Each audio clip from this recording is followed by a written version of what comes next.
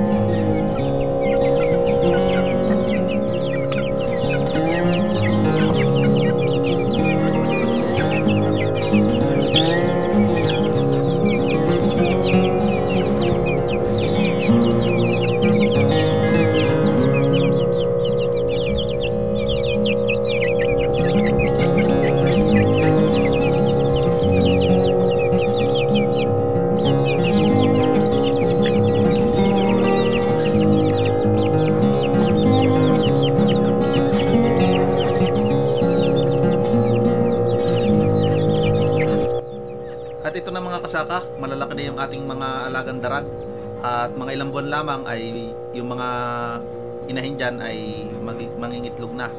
So yung mga babae dyan, kagaganda pong alagaan tong darag dahil ang quality po ng karne nila ay much better po na mas masarap kaysa dun sa mga ah, heritage chicken. Kaya nag-aalaga din po kami ng ah, darag na native chicken. Oh, so ito po yung kilala na sariling atin na mga uri ng manok o yung breed ng manok. Ito po talaga yung sa atin. Ah, bali, ang tawag nga po dito yung darag.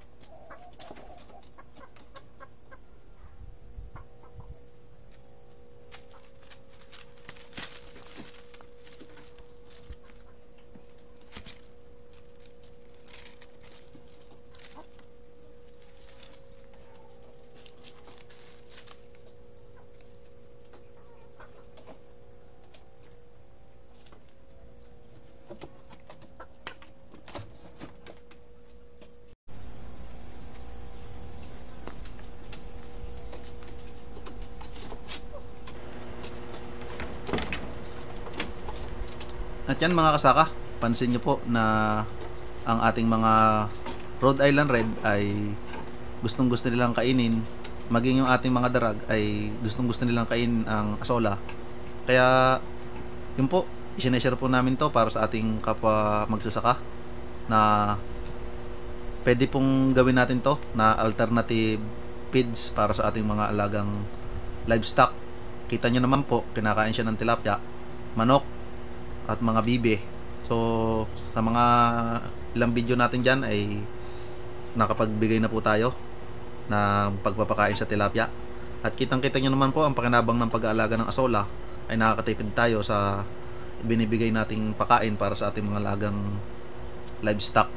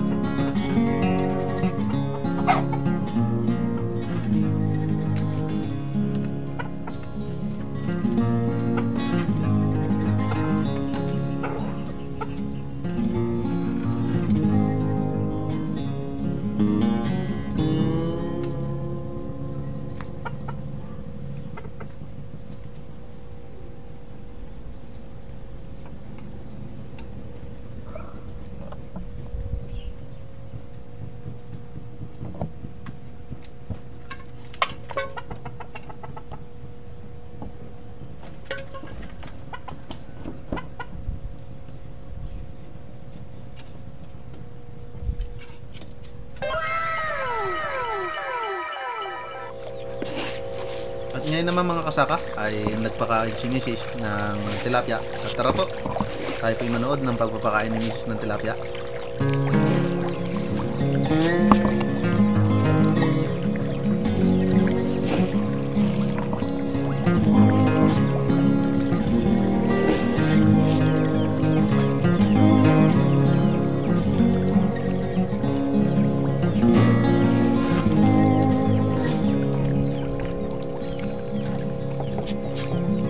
At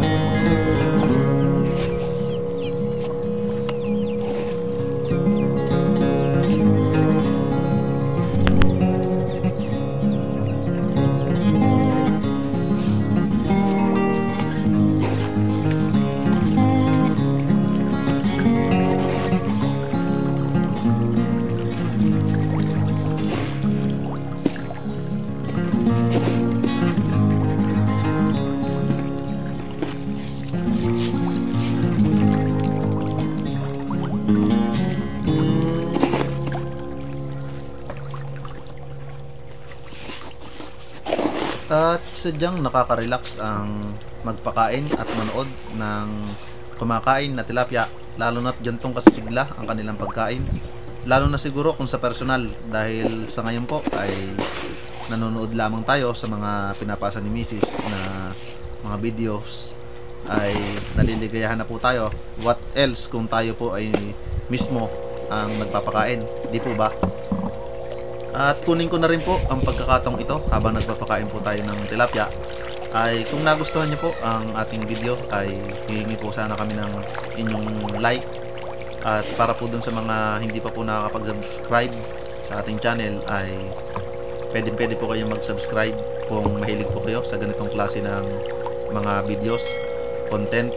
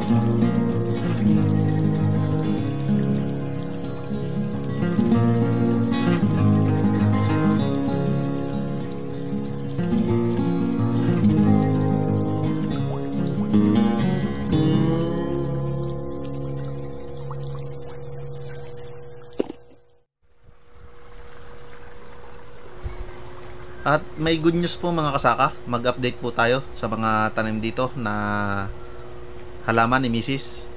Bali yung ating tanim na talong ay nag-uumpisa na po silang mamulaklak. At yung okra natin ay may sunong na rin ng kanyang bulaklak kahit maliit pa. At yan po makikita nyo, yung po kulay violet na yon ay bulaklak na po yan ng ating talong. Ayan po. At meron na rin silang nakaabang na buko ng bulaklak. Ayun po. At halos lahat po ng mga talong na tanim ni Mrs. ay may nag-uumpisa ng bumulaklak. Ayan po, makikita nyo.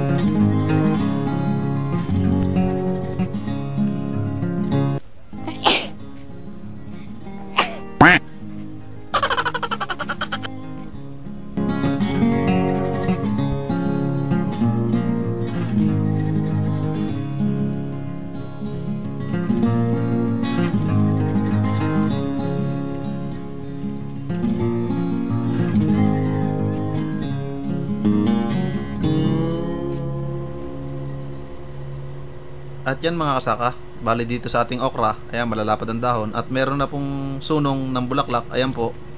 Kaya mga ilang linggo lang po ay may makikita na rin tayong bulaklak ng ating tanim na okra dito. So, ayan po, sunod-sunod na pong nagkakaroon ng bulaklak ang ating mga tanim na halaman dito sa ating front yard gardening.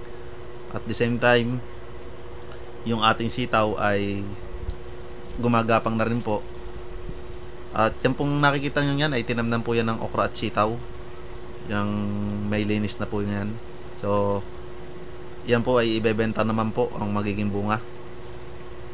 Kaya, sa ngayon po, hindi pa po fully develop ang ating front yard gardening dahil si Mrs. lang po ang nagmamanage. At yun po, uh, trial lang po yung ginagawa na, niya dyan.